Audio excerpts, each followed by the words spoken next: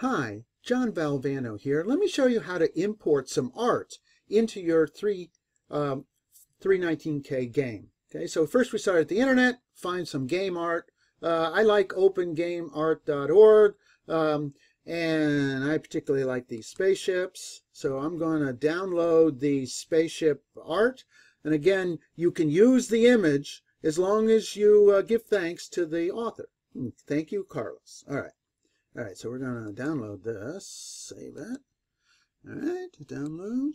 Okay, and then I'm going to go to the um, uh, to the uh, to the downloads folder. I'm going to unzip or extract this um, this art here, and uh, I've done this before, so I'm just going to write over it. Okay, so now I'm going to find one that I like. Okay, so the next step is to open the art in Paint. Okay, so I'm going to open this art in Paint, and this allows me to do two things. The first thing I have to do is shrink or resize it because it's way too big. Okay, and so I'm going to make it smaller, um, and I'm going to do that here by uh, by changing the the size of it. Now it's 45 by 32. Uh, it's still not small enough, but uh, it's, it's good enough for this example. Okay, so I changed the size of it so it fits on my screen because I only have 128 by 160 pixels. The second thing I have to do is um, uh, make the background, okay, to make the background black because that's the way my game works. Now you could spend a lot more time making this really black by getting rid of all the white, uh, but that's enough for now, okay. The next step is to save it as a BMP. And it is really important to save it with 24-bit uh, color because that's the size of the device that we're going to use. So I'll pick a name that's easy to type. I'm going to call this guy X3. Okay. So I'm saving it as 24-bit color. Okay.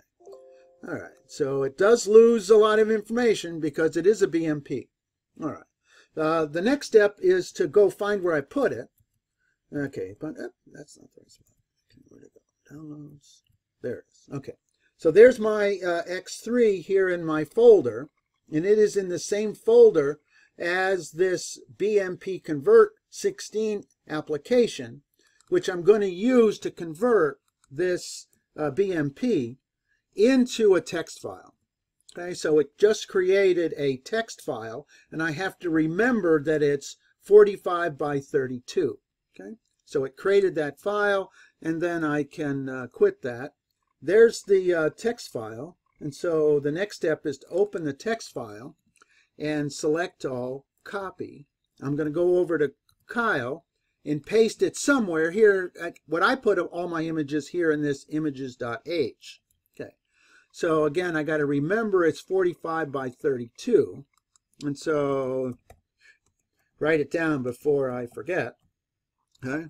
And then its name is X3. And so I'm going to put it here in my device, right? I'm going to going to put it as one of my uh, graphics, and but I have to get the size right. Where should I put it? I'm going to put it here somewhere in the middle, and it's 45 wide by 32 high. All right, so compile, debug, run.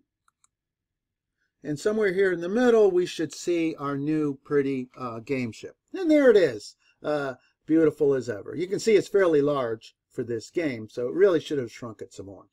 Uh, so that were the steps.